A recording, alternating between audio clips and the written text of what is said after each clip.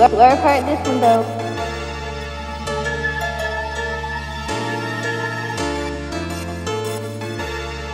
Hey, who made that shit, nigga? Polio!